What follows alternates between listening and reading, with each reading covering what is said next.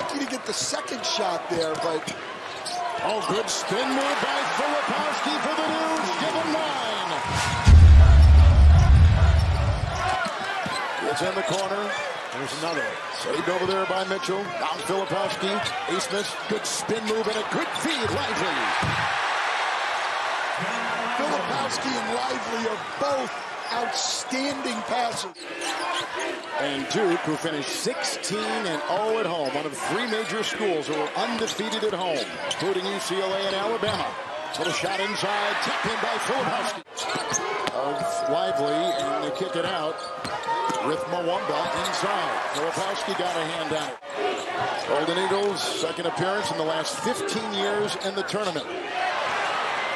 Another turnover. Filipowski ahead. Roach oh, with the reverse and a foul. Mwamba got him. It's actually by percentage their leading three-point shooter. Mitchell making a move across the lane. Filipowski will clean it up and put it in. That was a pass. It's only Filipowski's second hoop of the night. It's amazing when your leading scorer is struggling. Look at that play by Filipowski. Filipowski. What a nice defensive play. You're right. Drives to the basket, and you expect Filipowski to try to block the shot. Look at him move as he sees Abmas go off his feet to try to make a pass. Duke right now is playing the best basketball for this young team that they played all season. Filipowski. Adu defends. From just about any range on the floor. Duke is on a 7-0 run. Filipowski. It's the Blue Devils' biggest lead.